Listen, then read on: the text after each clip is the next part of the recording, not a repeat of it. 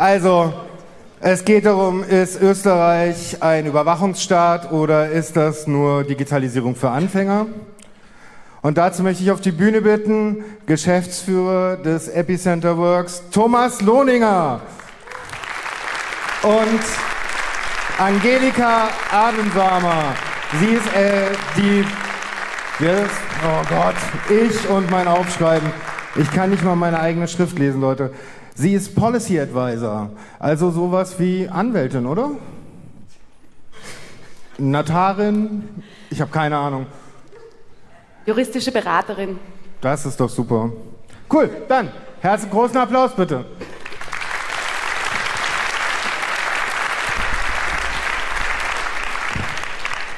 Hallo und herzlich willkommen. Ähm, ja, wir wurden eigentlich schon vorgestellt, ähm, das hat uns jetzt vorweggenommen.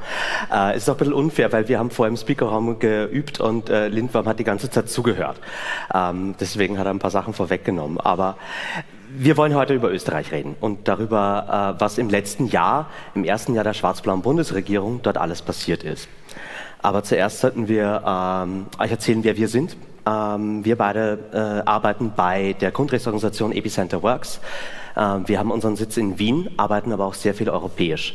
Ähm, unsere Organisation hat sich 2010 noch als Arbeitskreis Vorratsdaten gegründet, um die Vorratsdatenspeicherung abzuschaffen, was wir 2014 auch geschafft haben. Eigentlich hätten wir uns damals auslösen können.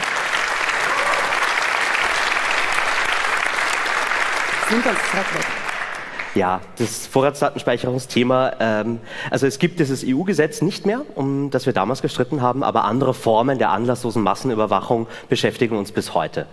Ähm, wir sind danach, 2015, ähm, auf ein neues Thema zugegangen, nämlich auf die ähm, Einrichtung eines Inlandsgeheimdienstes in Österreich, dem sogenannten Bundesamt für Verfassungsschutz und Terrorismusbekämpfung, über das wir heute noch einiges hören werden.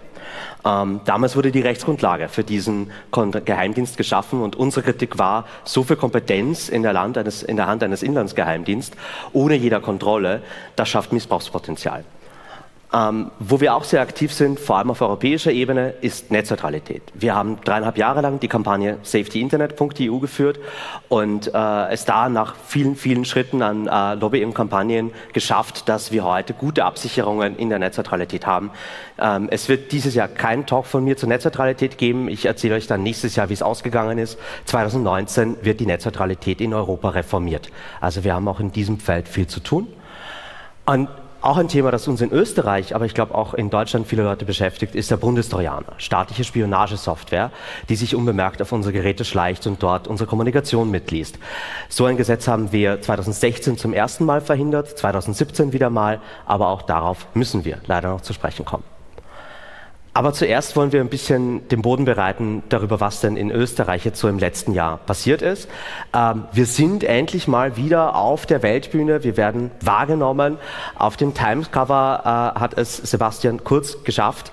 Ähm, es sind nicht viele Österreicher, die das bisher geschafft haben. Und er wurde da eben als das neue Gesicht der Rechten ähm, angepriesen, der es eben geschafft hat, äh, rechte Politik mainstreamfähig zu machen. Die aktuelle Bundesregierung in Österreich besteht aus ÖVP und FPÖ. Äh, hier ist sie zu sehen. Und äh, wir haben das nochmal mit einem Symbolbild dargestellt, was das für die Demokratie bedeutet ist leider ein echtes Bild. Ähm, es gibt ja das Ausweichquartier. Auf jeden Fall, äh, wir haben natürlich jetzt hier äh, mit einer Masse von Themen äh, zu tun und wir werden auch ein bisschen aus dem netzpolitischen Kernbereich rausgehen, weil so viel passiert ist in diesem Jahr. Aber bleiben wir nochmal bei den lustigen Sachen. Früher war alles einfacher. Äh, der letzte Bundeskanzler einer schwarz-blauen Bundesregierung, Wolfgang Schüssel, hier noch vor einem Röhrenmonitor, man beachtet den Almdudler Aschenbecher im Hintergrund. Äh, Angelikas erste Reaktion fand ich am besten. Genau da wollen sie wieder hin zurück. Ähm, und leider damals war es für uns einfacher, weil da hat die Politik das Netz noch nicht verstanden und es war etwas, das man auch gut ignorieren konnte. Heute ist das ein sehr zentrales Thema, ähm, sowohl unserer Ratspräsidentschaft wie auch des Regierungsprogramms. Wir haben uns das in den ersten 24 Stunden angeschaut und analysiert und eine farbkodierte Variante gleich mal veröffentlicht, wo ihr alles nachlesen könnt, was in diesen fünf Jahren Regierungsperiode auf uns zukommt. Da drinnen findet ihr ganz grob zusammengefasst ein neues Überwachungspaket, ganz viele Formen von dem Ausweiten staatlichen Datensammels, Netzpolitik wird eigentlich als Industriepolitik verstanden und Menschen kommen, wenn überhaupt, nur noch davor, wo wir Datenlieferanten sind. Es gibt immer noch kein Transparenzgesetz und an einigen Stellen wird auch ganz massiv EU-Recht gebrochen. Ähm, EU war auch wichtig, weil wir in Österreich die Ratspräsidentschaft hatten in der zweiten Jahreshälfte, also noch bis 31.12. Und äh, das auch bedeutet hat, dass viele der EU-Themen, mit denen wir sonst in Brüssel irgendwie aktiv werden müssen, in Österreich verhandelt wurden. Und das war recht spannend. Gleichzeitig hatten wir auch den Vorsitz des European Data Protection Boards. Ähm, unsere Datenschutzbehörde war verantwortlich, dass sich alle Datenschutzbehörden in ganz Europa einig werden bei so wichtigen Fragen wie, wie gehen wir mit Facebook um.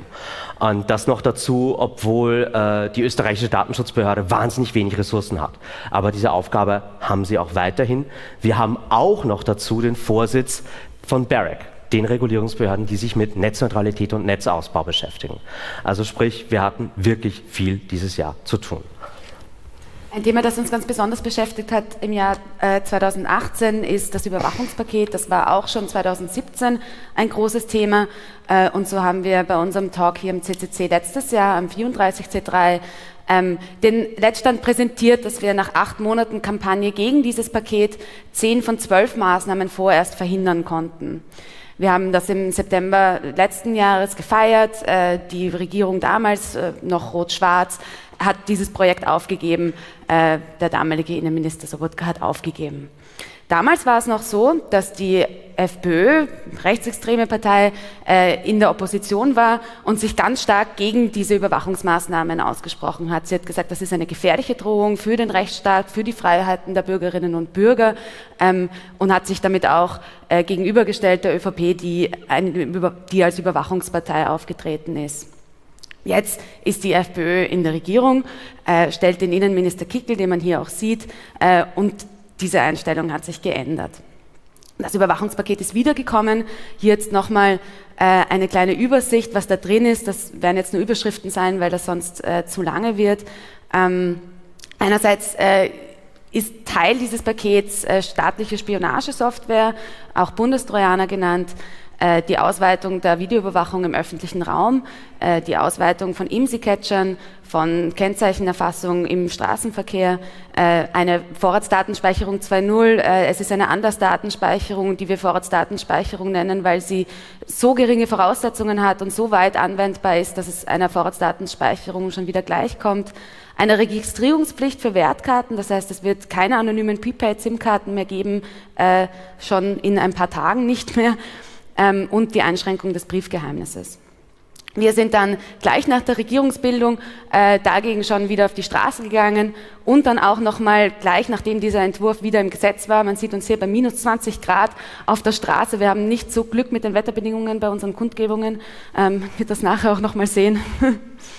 Ja, ähm, es gab äh, im dann, als die Regierung umgefallen ist, äh, die Kritik war ja schon 2017 recht laut. Aber als man dann eben äh, noch ziemlich am Anfang der äh, neuen Regierung, äh, der Legislaturperiode, sich entschieden hat, das nochmal aufs Tablet zu bringen, äh, was wirklich so ein Eilverfahren, mit dem das durchs Parlament gepeitscht wurde. Ursprünglich wollte man gar keine Begutachtung machen, dann gab es eine Ausschussbegutachtung. Da haben wir auch nochmal sehr stark mobilisiert. Es waren ja damals schon über 9000 Stellungnahmen und äh, jetzt auch nochmal viele Zustimmungen zu diesen. Und am Ende hat man sich auch um ein Hearing gestritten weil die Opposition geschlossen gemeint hat, wir müssen wenigstens öffentlich darüber diskutieren, was ihr beschließen wollt. Ähm, aber nein, die Regierung wollte dieses Hearing unter Ausschluss der Öffentlichkeit machen, woraufhin wir uns in äh, Wiener Tradition in ein Kaffeehaus mit der Opposition gesetzt haben, äh, mit äh, Konstanze Kurz eingeflogen haben und äh, Angelika und Albert Scheucher, Ewald Scheucher, unser Rechtsanwalt, dann eben gemeinsam mit allen Oppositionsparteien nochmal die Kritik dargelegt haben für die Medien, ähm, damit das wenigstens gehört wird, bevor es beschlossen wird. Es gab dann dann auch noch die Sicherheitssprecherin der SPÖ Lueger, die Sebastian Kurz noch auf den Bundestrojaner angesprochen hat. Es wurde am Mittwoch vorige Woche das Sicherheitspaket im Ministerrat beschlossen. Ähm, wie können Sie garantieren, dass es speziell in Österreich, wo ja auch bewusst so eine Sicherheitslücke offen gelassen wird, so etwas nicht passiert? Inwiefern bewusst eine Sicherheitslücke offen gelassen wird? Es wird im Internet eine Sicherheitslücke für den Trojaner offen gelassen damit man mit dem nachfragen kann und nachforschen kann. Und daher meine Frage, wie können Sie garantieren, dass das in Österreich nicht passiert? Also ich sehe nicht wirklich den, den Zusammenhang äh, zwischen IT-Sicherheit im öffentlichen Bereich und dem Sicherheitspaket, muss ich zugestehen. Äh, ich glaube, dass das zwei wesentliche, aber doch sehr unterschiedliche Themen sind. Man muss ja dazu sagen, Sebastian Kurz ist ein Digital Native, der ist so alt wie ich. Also der ist mit dem Internet aufgewachsen und er sollte das verstehen. Ähm, ihr seht hier auch äh, vielleicht so, was unser Job ist. Oft fehlt auch der technische Sachverstand ähm, bei den Politikern, egal welcher Partei. Ähm, und gerade bei dem Bundestrojaner-Thema geht es ja auch wirklich um komplexere Sachen.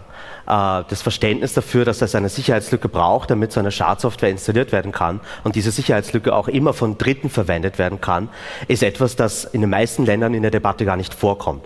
Wir haben es jetzt über die drei Jahre Jahre geschafft, dass es in Österreich durchaus schon bis zum Bundeskanzler vorgedrungen ist.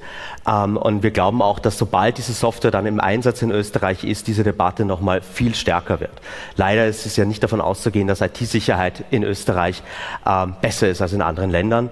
Ähm, am deutlichsten hat das unser Technologieminister Norbert Hofer gemacht. Wenn ich gehackt werde, werde ich halt gehackt. Ähm, ja, aber eigentlich ist dieses Überwachungspaket auch gar nicht so schlimm. Äh, Kickel sagt darüber, also Innenminister Kickel sagt darüber, es ist zielgerichtet, treffsicher, dosiert, sozusagen fast chirurgisch genau, einzelfallbezogen und mit einem entsprechenden Paket von Rechtsschutzmitteln ausgestattet. Wir haben uns das nochmal näher angeschaut, ob das überhaupt wirklich so stimmt. Wir haben den Rechtsschutz geprüft. Hier sieht man eine Aufstellung von allen Maßnahmen äh, und den einzelnen Rechtsschutzmitteln, die es dagegen geben sollte. Und man sieht an den roten Punkten, dass da doch ein paar fehlen. Genauer kann man das auf unserem Blog nachlesen.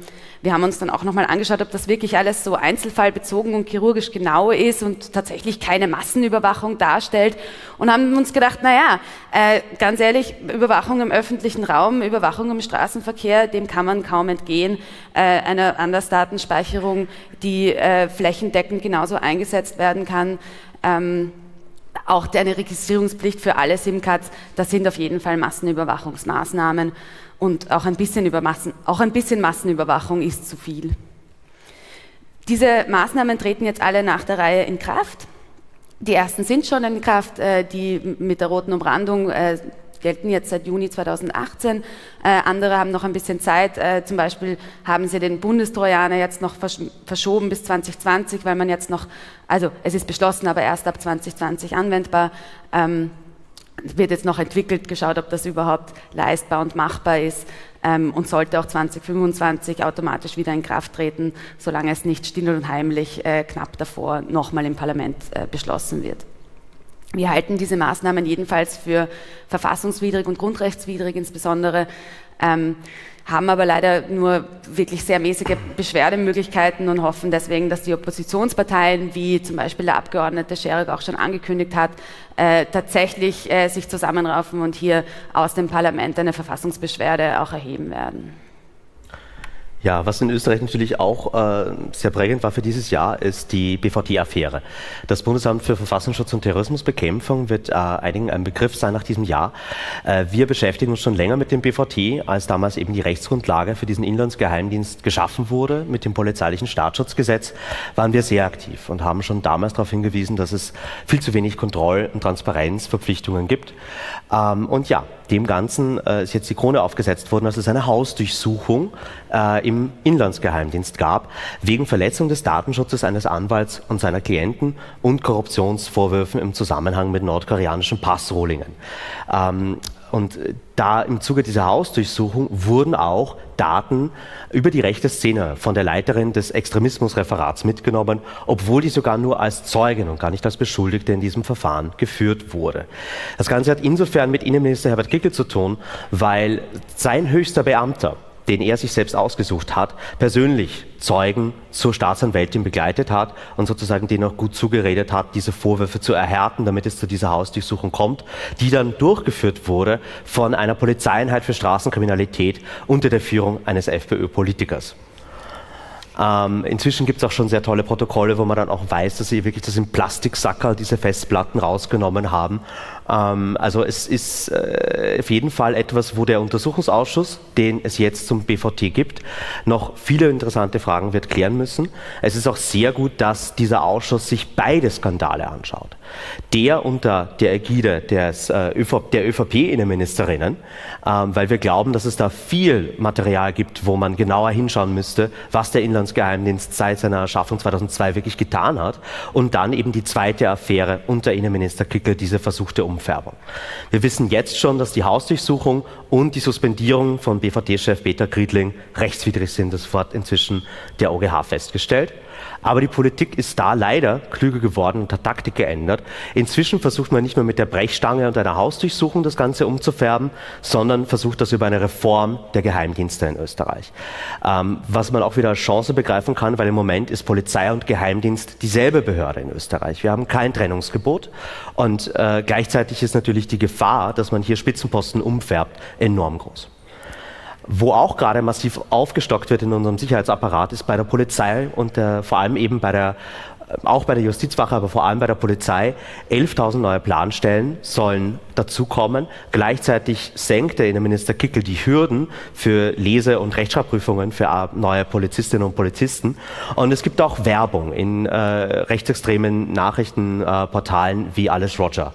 Also hier wird wirklich versucht, äh, auch diese Reihen der Polizei zu füllen.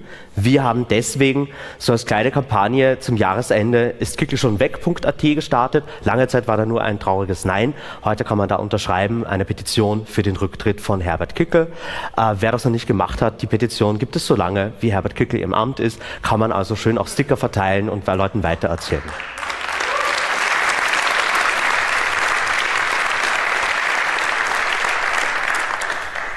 Kein netzpolitischer Rückblick dieses Jahr ohne die Datenschutzgrundverordnung. Äh, die DSGVO ist anwendbar seit 25. Mai dieses Jahres äh, und hat alle möglichen Arten von Panik ausgelöst. Einerseits wegen äh, den hohen Strafen, die zu erwarten werden, wegen Datenschutzübertretungen, andererseits auch, weil die Mitgliedstaaten ihre eigenen Gesetze anpassen müssen an die DSGVO. Ähm, das war auch in Österreich ein großer Stress, obwohl man eigentlich zwei Jahre davor schon äh, davon wusste und die Zeit hatte. Aber wir haben trotzdem dann in diesem ersten äh, Quartal 2018 eine ganze Flut an Gesetzesänderungen gehabt, wo auch äh, so lustige Dinge äh, dabei waren, wie äh, die Strafen, die in der DSGVO direkt gelten und eigentlich über äh, dem nationalen Recht stehen, die soll man gar nicht richtig anwenden, sondern die Datenschutzbehörde soll viel mehr zuerst einmal verwarnen und erst dann strafen. Äh, das ist eine kreative Idee, geht so aber leider nicht, stiftet nur Verwirrung. Die Leute glauben, wir haben keine DSGVO-Strafen in Österreich, das stimmt einfach nicht und uns droht ein Vertragsverletzungsverfahren. Ähm, ein Trend, der jetzt auch schon feststellbar ist äh, und der sehr beunruhigend ist, ist, dass gerade bei Minderheiten und bei sozial schwächeren Gesellschaftsgruppen äh, die Überwachung ganz besonders eingesetzt wird und auch nicht nachvollziehbare Algorithmen, die oft diskriminierend sind, ähm, gerade in diesen Gesellschaftsgruppen äh, besonders schlagend werden. Ähm, dazu jetzt ein paar Beispiele äh, aus dem letzten Jahr. Äh, das ist etwas, was einen Algorithmus, den das Arbeitsmarktservice äh, verwendet, betrifft. Ähm, das heißt, dass Arbeitslose, das, also Arbeitslose haben das Recht vom Arbeitsmarktservice auf äh, Förderung in Form von Kursen oder Weiterbildung. Ähm, und es wurde ein Modell bekannt, das einen geplanten Algorithmus zeigt, äh, der die Menschen in drei Gruppen einteilen soll. Äh, das ist einerseits die Gruppe A, das sind die, die gut gebildet sind, leicht einen Job kriegen und deswegen gar keine Förderung brauchen. Äh, das ist die Gruppe B, die gefördert wird. Und das ist die Gruppe C, bei denen die Chancen so aussichtslos sind, äh, dass sie keine, kein Anrecht oder nur sehr minimale Förderungen bekommen. Ähm, in dem Modell für diesen Algorithmus zeigt sich, dass der Faktor, eine Frau zu sein, mehrere Kinder zu haben äh, oder am Land zu wohnen, einen hinunterstuft und deswegen möglicherweise äh, also mit einer höheren Wahrscheinlichkeit in diese Gruppe C, die nicht gefördert wird, steckt. Das wurde begründet damit, dass man da mit die Diskriminierung, die am Arbeitsmarkt schon besteht, nur abbildet. Man schreibt aber diese, genau diese Diskriminierung damit natürlich fest. In eine ähnliche Richtung äh, geht die Rasterfahndung in Gesundheitsdaten, äh, die im Zuge der Wiedereinführung des Zwölf-Stunden-Tages eingeführt wurde. Ähm, hier geht es darum, dass Versicherungsträger äh, ein Risiko- und Auffälligkeitsanalyse-Tool verwenden müssen äh, und damit äh, Krankenstände, zum Beispiel Krankenstände äh, von Arbeitnehmerinnen, äh, von Patientinnen äh, screenen müssen. Das heißt, dass Auffälligkeiten in den Krankenständen, wenn die zu lange, zu kurz, zu oft, zu selten sind, dann besonders geprüft werden. Das sind alles Maßnahmen, die besonders für die Einsparungen und für die Wirtschaftlichkeit dienen sollen. Ja, ähm, Angelika hat schon erwähnt, es waren äh, sehr viele Datenschutzmateriengesetze, die auf, bei unserem Tisch gelandet sind dieses Jahr. Ich glaube, so mit Erläuterungen ungefähr 750 Seiten, die in zwei Monaten verabschiedet wurden. Ähm, wir haben uns die Arbeit gemacht, die alle durchzulesen. Und es gab ein Gesetz, wo wir sofort aktiv werden mussten, und das war im Bereich von äh, Forschung. Äh, und zwar wollte oder wilde man hier mit diesem Gesetz die Möglichkeit schaffen, dass alle Register von Ministerien in Österreich geöffnet werden für die Forschung. Ähm, Register kann hier bedeuten eure Steuerunterlagen, aber auch eure Gesundheitsdaten. Und Forschung kann bedeuten irgendwie die Uni Wien, aber auch Cambridge Analytica und Marktforschungsunternehmen. Ähm, das Ganze äh, ist als Gesetz so herumgelegen, niemanden hat es interessiert. Wir haben das entdeckt und sind mal zwei Wochen lang reihum gegangen zu allen Oppositionspolitikern, zu verschiedenen Medienvertreterinnen und haben versucht, dafür Bewusstsein zu schaffen. Niemand hat es interessiert. Und dann haben wir einen APA-Journalisten getroffen, der die Geschichte aufgebracht hat. Und auf einmal war es Zeit im Bild, Ö1, Ö3 und alles. Und es gibt jetzt zumindest bei den Gesundheitsdaten eine Ethikkommission, die vorgeschaltet ist. Und auch die einzelnen Register müssen erst von den Ministerien freigegeben gegeben werden. Vorher gab es ein Klagsrecht, dass man sozusagen als Marktforschungsunternehmen das Ministerium klagen kann, wenn es einem nicht diese Daten gibt. Man muss noch dazu sagen, dass diese Daten pseudonymisiert rausgegeben werden. Das heißt aber nur, dass ich den Namen mit einer Nummer ersetze. Wenn ich weiß, wann ihr irgendwann einmal in irgendeinem Krankenhaus wart oder welches Medikament ihr an welchem Tag bekommen habt, kann ich die gesamte Krankenhistorie mit dieser einen Korrelation wiederfinden. Dann gab es äh, erst vor ein paar Wochen äh, im Entwurf des, der Sozialhilfereform ähm, einen vorges neuen vorgesehenen Datenaustausch zwischen den äh, Ländern und dem Bund und wieder zurück vom Bund zu den Ländern äh, über alle möglichen Sozialleistungen, ähm, das heißt die Anspruchsberechtigung, äh, Daten über den Haushalt und so weiter. Und was in diesen Datensätzen auch vorgesehen war, äh, ist die Staatsbürgerschaft der leiblichen Eltern. Das ist etwas, was diesem, diesem Gesetz, äh, nicht von uns, aber doch zu Recht äh, den Namen ARIA-Paragraph äh, eingebracht hat, weil überhaupt nicht ersichtlich ist, in welcher Weise auch immer über irgendjemanden die Staatsangehörigkeit der leiblichen Eltern interessant sein sollte. Ähm, zeigt aber natürlich, wohin das Ganze geht. Ähm, auch im Asylverfahren, das überhaupt äh, sehr starke Einschränkungen gesehen hat, äh, wurde nochmal äh, mit Grundrechten äh, massiv zurückgefahren auch in Bereichen der Privatsphäre. So wurde es den Behörden erlaubt, zu verlangen von Schutzsuchenden im Asylverfahren, äh, die Handys, äh, Mobiltelefone aus, komplett auszulesen. Äh, das ist eine Regelung, die strenger ist äh, als bei beschuldigten Strafverfahren. Das ist bei beschuldigten Strafverfahren nur bei einer bestimmten Strafhöhe überhaupt möglich. Zugleich wurde auch das Arztgeheimnis eingeschränkt, sodass Ärzte äh, und Bedienstete in Spitälern Auskunft geben müssen über den Aufenthaltsort äh, von Schutzsuchenden oder ja, schon abzuschiebenden oder wie auch immer.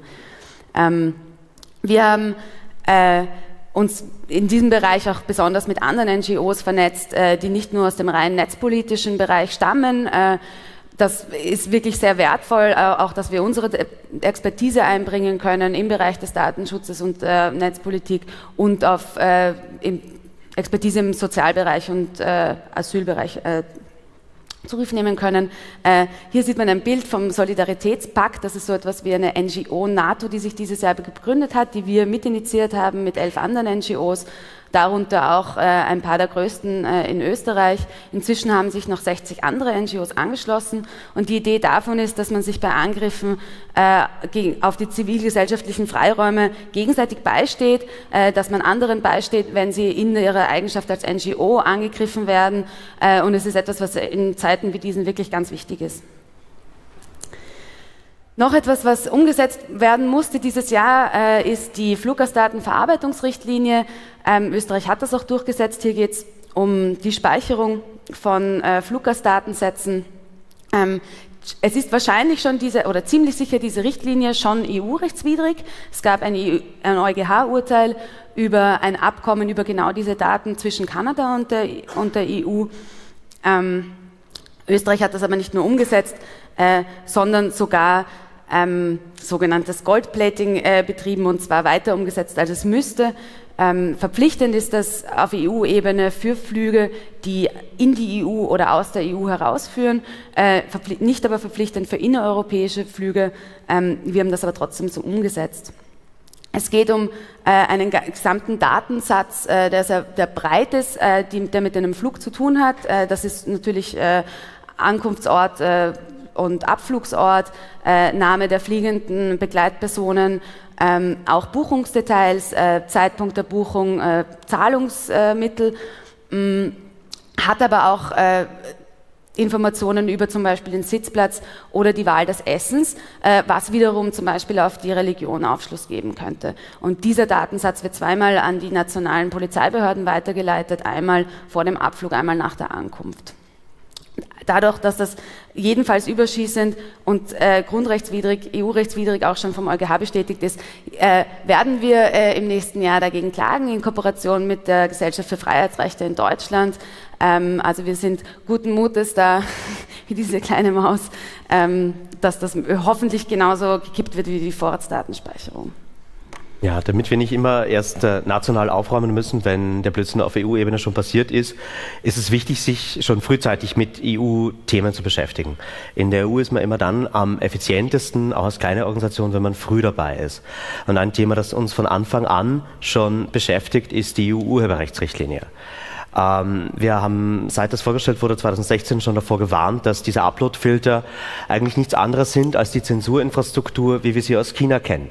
Dass Inhalte von, von Userinnen und Usern schon vorab kontrolliert werden, bevor sie überhaupt erscheinen dürfen, äh, setzt einen ganz gefährlichen Beispielfall. Ähm, wir haben damals davor gewarnt, dass solche Upload-Filter, sobald sie mal existieren, wie jede Zensurinfrastruktur immer mehr ausgeweitet werden. Und wir haben Recht bekommen. Inzwischen gibt es schon die Terrorismusverordnung, die noch bevor das Urheberrechtsgesetz fertig ist, Upload-Filter auch für extremistische Inhalte haben will. Aber in diesem Gesetz steckt noch mehr drin, auch ein Leistungsschutzrecht für Presseverleger. Etwas, das besonders kritisch ist äh, in den Zeiten von Fake News, wo es eigentlich darum geht, journalistische Inhalte zu verbreiten und zu zitieren, anstatt sie wegzusperren. Ähm, wir sind seit Anfang an auf der Straße gegen dieses Gesetz und wollen mit verschiedensten Aktionen in mehreren Städten zeigen, dass das eine Einbahnstraße ist. Sowohl für das Internet, aber auch für die Gesamtgesellschaft. Weil wir damit halt einfach wirklich nicht in ähm, einem Netz leben, in dem wir gerade in einer Zeit, wo Demokratie immer mehr gefährdet ist, noch die Technologie haben, um uns frei zu äußern und zu organisieren. Ähm, diese Demonstrationen sind nicht nur in Wien, sondern auch in Graz und in Innsbruck. Und in Linz hat es auch schon welche gegeben. Wir hatten zuletzt auch noch eine Pressekonferenz mit der Geschäftsführerin der Wikimedia Foundation, Catherine Mara in Wien, weil Wikipedia natürlich erst recht von all diesen Themen betroffen ist die haben im Moment fast keine Urheberrechtsverletzungen, weil sie eine aktive Community haben.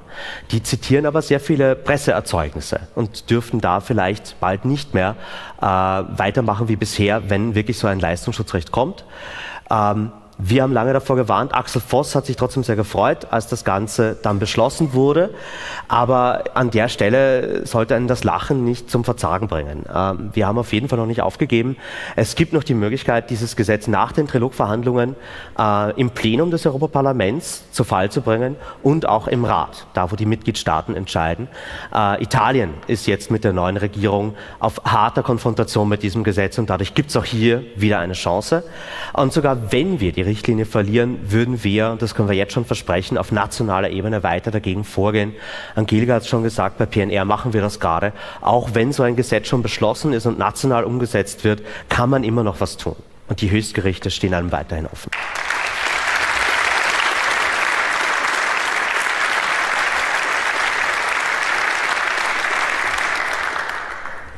Ziehen wir Bilanz über ein halbes Jahr österreichische Ratspräsidentschaft. Wir haben ganz viel Energie investiert und mit Hochdruck verhandelt beim Urheberrecht, bei E-Evidence, noch so einem Überwachungsgesetz und der Terrorverordnung, die ich schon erwähnt habe. Äh, wo wir leider nicht dazukommen sind, das war die E-Privacy-Verordnung. Also da, wo es eigentlich um Datenschutz und um Bürgerinneninteressen geht, hatte man leider keine Zeit dafür. Wir haben hier dann irgendwie den Clip gefunden, äh, der das am schönsten ausdrückt.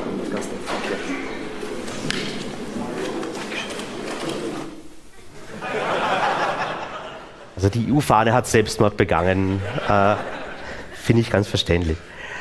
Ähm, ich will nicht nur depressiv enden, es ist ja auch der letzte Tag heute, ähm, sonst betrinkt ihr euch alle. Also nochmal ein Rückblick auf die kleinen Erfolge, die wir hatten, die ziemlich sicher sonst niemandem aufgefallen sind, außer uns.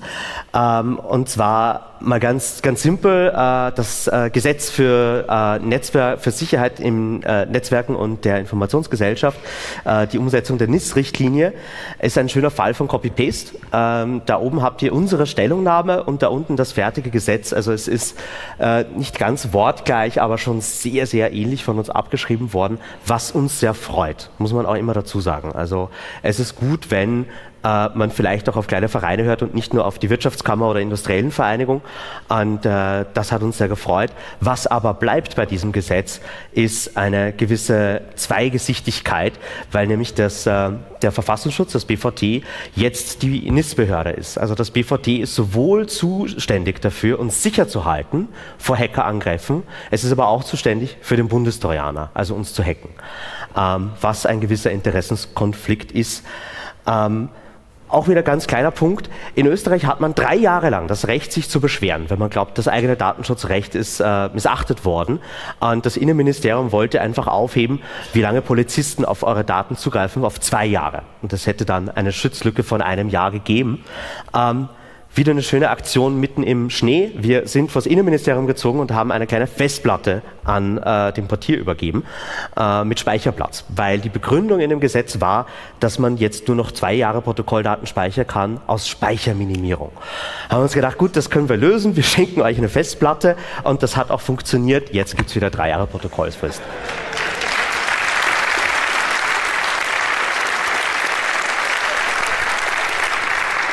Auch ein schöner Punkt. Ähm, wir haben uns sehr gefreut. Es ist das Telekommunikationsgesetz in Österreich aufgemacht worden. Ähm, und da ist jetzt ein bisschen Netzneutralität, habe ich im Talk, das ist hier. Wir haben uns äh, schon äh, früher in diesem Jahr mal äh, alle Strafbestimmungen für Netzneutralitätsverletzungen in ganz Europa angeschaut und so eine schöne Zusammenstellung gemacht, ähm, wo die Länder so stehen. Und Netzneutralität zu verletzen äh, kann in manchen Ländern nur so 9000 Euro kosten und in anderen mehrere Millionen oder 10% Umsatzstrafe. Ähm, und da haben wir mal den Ländern gesagt, wie gut oder schlecht sie dastehen, äh, weil diese Strafbestimmungen sind leider national geregelt und nicht im europäischen Recht. Österreich war Anfang des Jahres am letzten Platz, gemeinsam mit Portugal und Irland, weil wir hatten gar keine Strafen. Am Ende des Jahres mit dem neuen Telekommunikationsgesetz sind wir auf ersten Platz mit 10 Prozent äh, globalen Umsatz. Das ist mehr als bei der Datenschutzgrundverordnung. Und das hat uns sehr gefreut, dass Österreich sich hier so stark verbessert hat innerhalb eines Jahres. Und wir haben uns sehr gefreut. Selbes Gesetz kommt irgendwie so ein Gesetz auf dem Weg zum Parlament, durchläuft eine Begutachtung. Ja, da wird von allen nochmal Input gegeben, finden wir gut, finden wir schlecht. Dann kann man sich nochmal eine Meinung bilden, wenn alle ihre äh, Meinung gesagt haben, bevor man das ans Parlament schickt. Und nach der Begutachtung ist bei diesem Telekommunikationsgesetz eine neue Form der Vorratsdatenspeicherung dazu gekommen. Man hätte einfach ähm, dynamische IP-Adressen, die ihr wahrscheinlich alle verwendet, zu Hause äh, in eurem Festnetz-Internet, ähm, auch einer Vorratsdatenspeicherung unterzogen. Und sie wären dann wahrscheinlich auch noch leichter äh, für Urheberrechtsverletzungen herangezogen worden. Das kommt wahrscheinlich auch bald als nächstes, dass man Filesharing aus privaten Internetanschlüssen nicht mehr so leicht betreiben kann in Österreich. Und das äh, haben wir aufgedeckt und mit ein bisschen Öffentlichkeit zum Glück konnten wir gemeinsam mit der ISPA, den Internet Service Providern in Österreich, äh, verhindern, dass diese neue Form der Vorratsdatenspeicherung kommt. Auch schön. Ähm,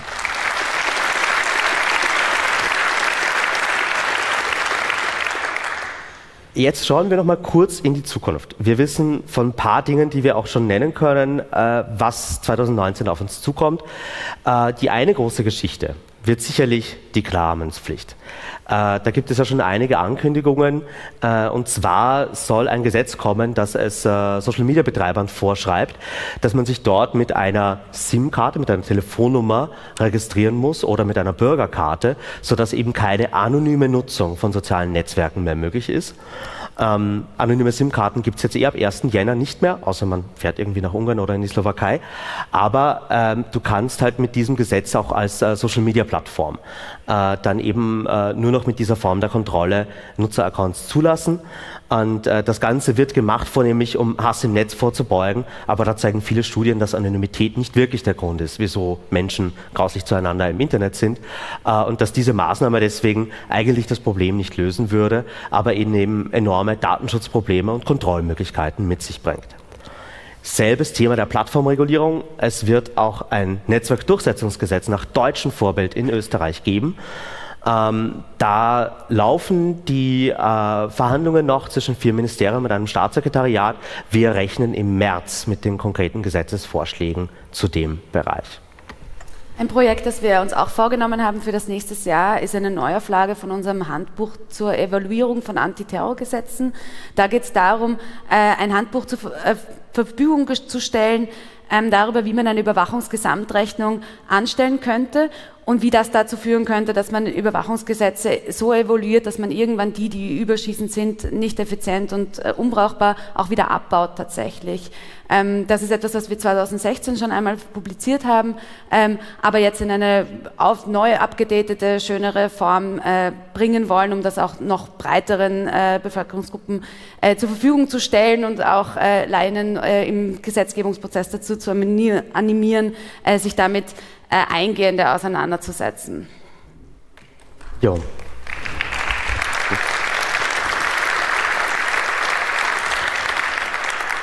Mir bleibt nicht mehr viel zu sagen. Ähm, ich will nur noch darauf hinweisen, äh, wir tun alles inzwischen nicht mehr nur in unserer Freizeit, auch wenn es mal als Hobby angefangen hat bei den meisten Leuten, sondern wir sind inzwischen ein Team von zehn Leuten, die äh, in unserem Büro in Wien arbeiten. Ähm, ich habe es erwähnt, je größer wir werden, umso mehr Arbeit wir auf europäischer Ebene auch, aber auch national haben wir sehr viel vor uns im nächsten Jahr.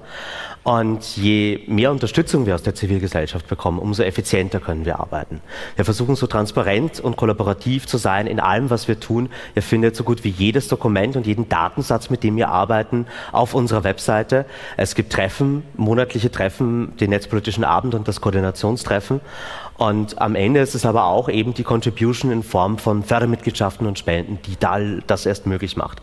Und gerade die Fördermitglieder sind diejenigen, die uns erlauben, langfristig zu planen. Und das muss man leider in der Politik immer öfter tun. Und wer Fördermitglied wird, kriegt von uns jetzt, und das ist neu, auch so ein Willkommensgeschenk. Das geht von T-Shirts über USB-Sticks und so Kameraabdeckungen, also durchaus auch sinnvolles Zeug, RFID-Schutzhüllen. Schaut euch das an, äh, weil wir wollen wirklich auch diese Art von, von Größe, die wir jetzt haben, die können wir nur dann erhalten, wenn es sich länger auch ausgeht, dass mehr Leute das Ganze unterstützen.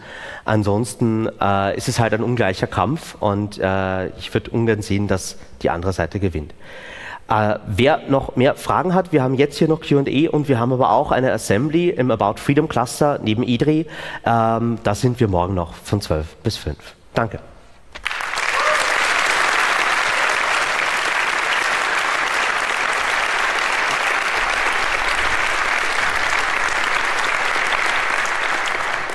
Ja, danke für den Vortrag und für eure Arbeit. Und äh, ihr kennt alle schon das Spiel. Wir haben vier Saalmikrofone, wir haben das Internet und wir fangen direkt einfach mal mit dem Internet an. Äh, ja, ihr hattet vorhin von dieser Ist Kickel schon weg äh, Bürgerliste gesprochen oder Petition gesprochen. Äh, warum? Aber das ist ja nur so eine rechtlich unverbindliche Liste. Warum wird keine äh, richtige Bürgerpetition auf der Parlaments-Homepage gestartet, die dann zumindest parlamentarisch behandelt werden müsste? Ähm, also wir haben schlechte Erfahrungen mit Bürgerinitiativen äh, gemacht. Äh, wir hatten zu einem Zeitpunkt gegen die Vorratsdatenspeicherung die größte Bürgerinitiative, die es bis dahin in Österreich gab. Äh, und sie hat nichts gebracht.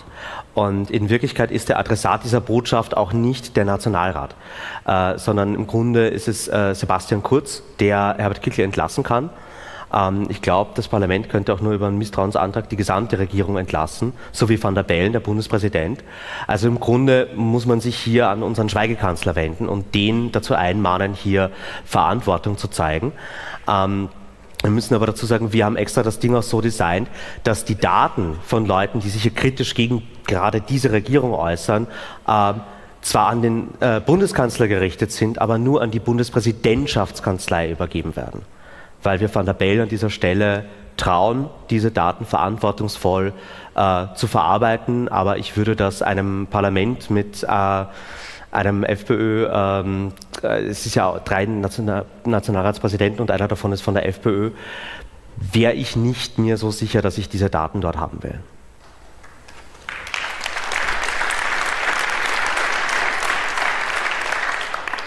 Mikrofon Nummer eins bitte und schön nah dran gehen, bitte. Ähm, Oh.